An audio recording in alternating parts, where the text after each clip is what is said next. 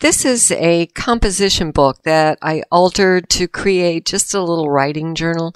And it's quick, it's easy, fun to do, makes a great little gift that you can stick in a stocking stuffer around the holiday season or have on hand to give when you may need something. So let me share with you how I did it. My name is Peg. Two Old Crows Mixed Media.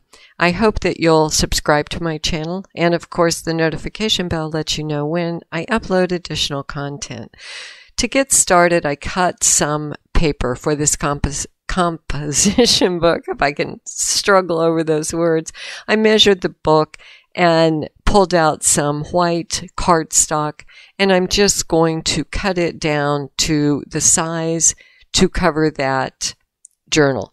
I did cut all the pieces the same and I cut them measuring from the binding of the comp book over to the edge. And that turns out to be a little bit of a mistake and I'll show you why later, but we fixed it. First thing I'm going to do is lay down a very thin layer on the gel press of Mars Black. And I am going over it to remove some of the paint and to get it nice and even. I have this stencil. This is another one from my Stencil Girl monthly subscription. I think that's $25 a month. I think I said 15 in an earlier video, but I just looked at my bill. It's 25 and I'm pulling out the paint where the stencil is not. So I'm blotting with this piece of paper. And I'm just going to go over it once again because I'm trying to make sure I get all of that black out of the areas where the stencil doesn't cover the press. This is just a spoon I keep on my desk and that just gives a little bit more pressure than my hand or helps get down inside that stencil to remove that paint. And this will make a nice background for something else in the future. And I think I'm going to work on that soon. So you can see where I've removed the paint. I just wanted to kind of give you a close up, let you see where I've removed that paint with the stencil. Now this is just a gold. I'm going to squirt some on here and spread it around on top of the stencil, trying to fill those holes that we just took the paint out of. And I got a little bit too much there, so I'm just going to blot that down. And I think I'll squirt the paint here on the side and ink up my brayer and do it that way to avoid that. So I'm getting a nice coverage with that gold, but still trying to keep it relatively thin. I don't want to pile up the paint on this press. So now that I have both of those colors down, I'm just going to remove this stencil. I'm going to blot it just a little bit, get some of that paint off of the top of the stencil, see if we can get it on, on these little pieces. And there you go. Looks like there's a little bleed where I squirted it on. So I think um, brayering, inking your brayer or getting the paint on your brayer first is probably a good idea, but I think that'll look okay. So I'm gonna I'm gonna stick with it. Now the gray is what we'll use to pull this print. So a fine coat of gray, and you can see I've let that dry to the touch underneath. And when you put this coat of gray on, you should be able to see your print underneath the gray. So your that black and gold will stay in place and we're going to pull it with the gray. So the gray will be your bottom color, the gold will be next, and the black will be the top color on this pull. And there we go. And I actually like the, the way that looks. It just gives it a, a little bit definition on both sides. So we'll use that.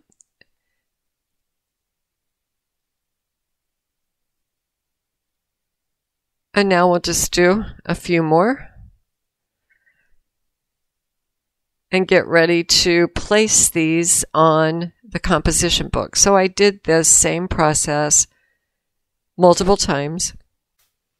I'm also going to reverse the colors out a bit. I'll speed this up and I'll meet you on the other side.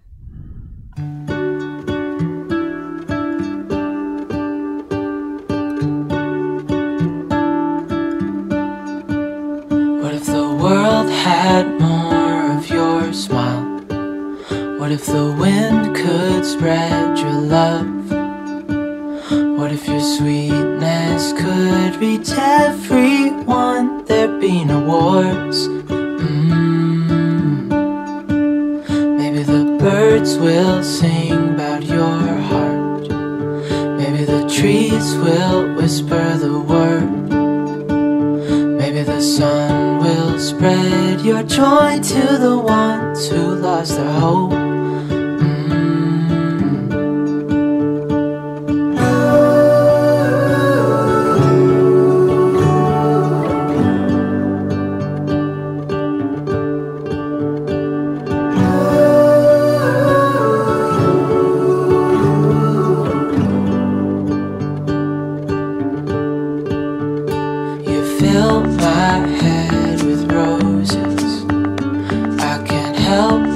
Dream away. Standing on a field with you and flowers everywhere. Mm. Maybe there is a star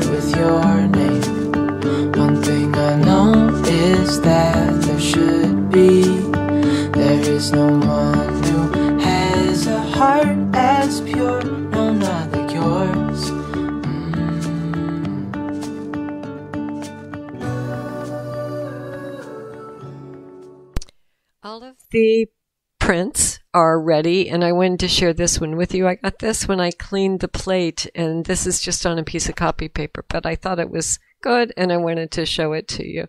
So now I want to just kind of go over what we have, put those in place on the book, determine what we want for the front, what we want for the back, what we're going to use here on the inside, and just get them glued down and in place on the book.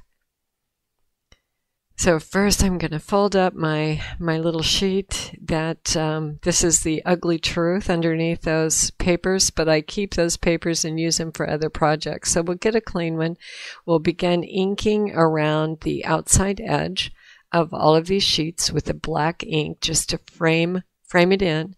And once again, these are cover stock or cardstock printed on the gel press and I measured from that black line over to the edge and now I'm going to glue those in place. And I told you there was a, a mistake with this and, and you'll see what that is when we go to glue that on the inside. So let's just get this down nice and firm.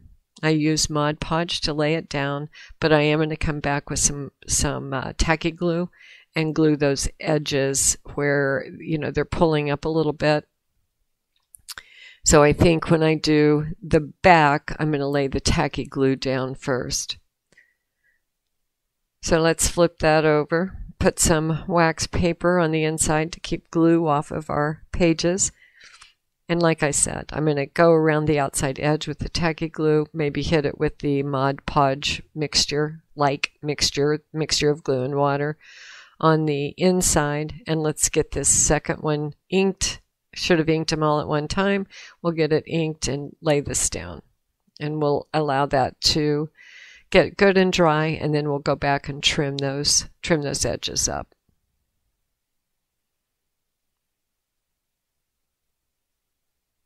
So there, I think that's making a pretty good little looking little composition book. So let's trim up the edges.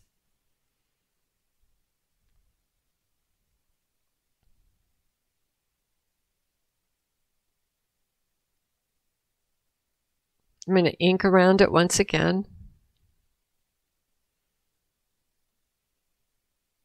And I'm just using an archival black ink, a on pad. And I had one that was a little fussy, so I'm going to cut it with my X-Acto knife and I tore it a little bit, so I'm going to glue that down and we'll ink over the top of that and no one will ever know.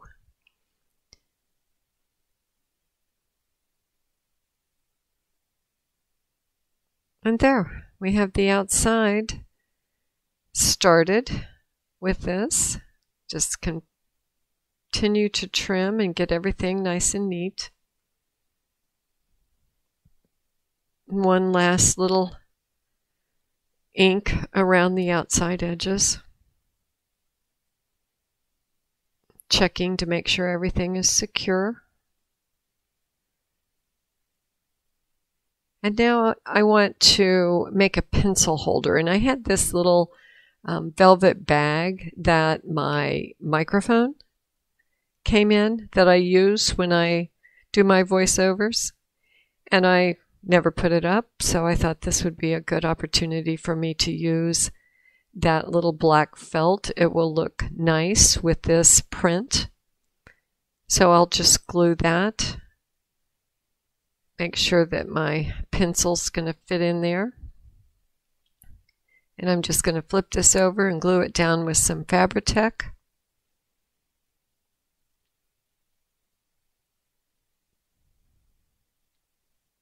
if I can get the glue to come out of the bottle. It's a new bottle, so I need to cut the top. And we'll lay that down, fold it up, and glue it once again.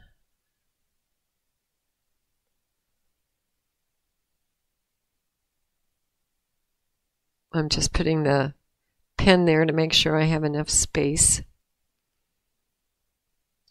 And there, that's going to look nice on that, don't you think?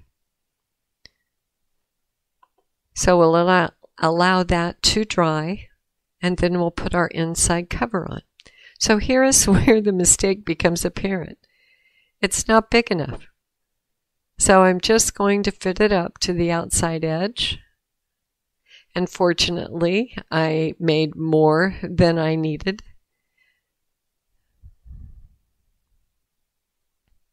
and we will make this part of the design element.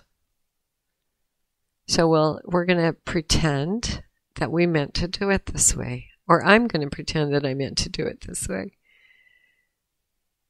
So I'm going to glue both of these down.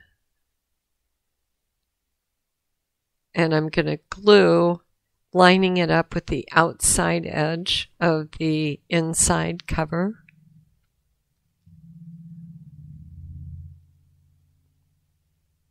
and I got some paint on that last sheet, so I'm just going to tear that out. And now I'm going to take my extra sheet and just tear that, pulling it towards me so I don't get a lot of white. I'm going to ink around the outside edge and glue this down on the inside to cover up that area where I cut this inside cover too short.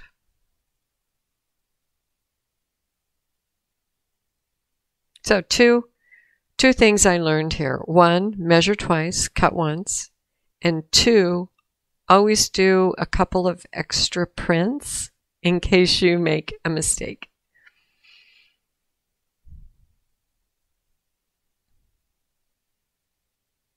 And I'll do the same thing here on the back.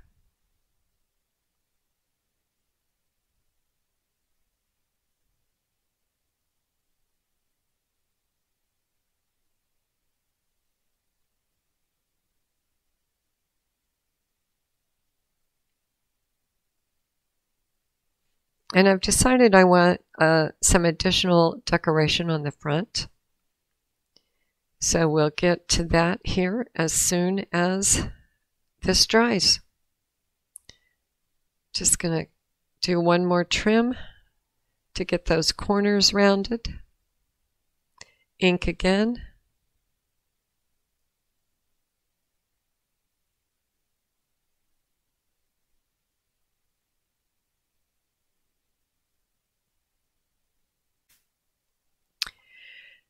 Final trim, final cleanup, little inking to cover any area that I trimmed, making sure the pencil fits or the pen fits, and stick that down inside there. Find a nice pen to go with this, and the outside is done. But I want to put this arrow on on the front.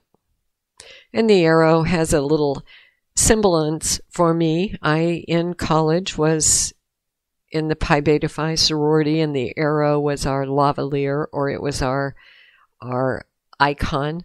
So I always kind of enjoy putting an arrow on on anything, but I would like this one to be gold. So I am taking my texture paste and thinking that I mix it with gold paint and I will have a nice gold texture paste. But it's not really getting to the complete color that I would like for it to be.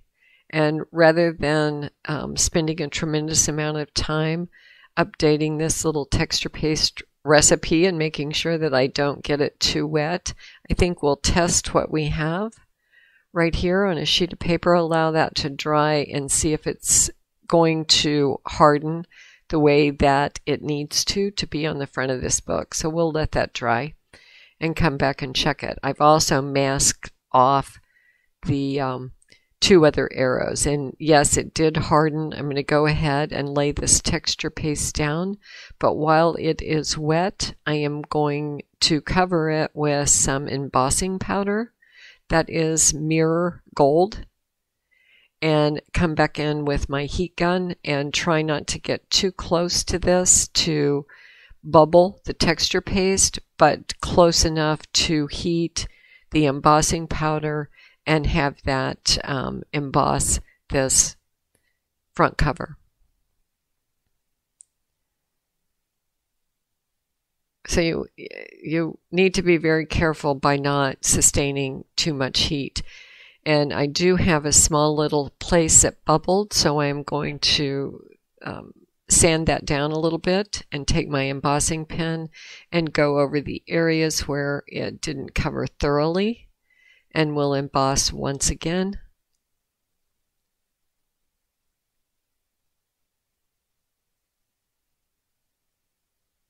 And that will complete this little book for now.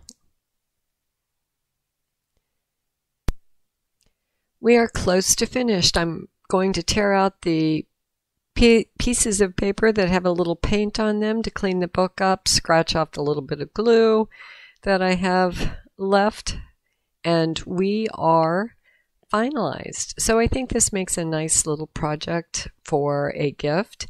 It is quick, it's easy using your gel press, some texture paste, and a little embossing powder, and you have a completed project. I am going to finish the inside, so watch for the next video. I'm going to do a couple of things with washi tape and make some tabs and do some other things on the inside, I think. So once again, Two Old Crows Mixed Media, thank you to all of you that subscribe to my channel and I appreciate your comments and really enjoy um, watching the um, interaction on the channel. So, again, thank you and bye for now.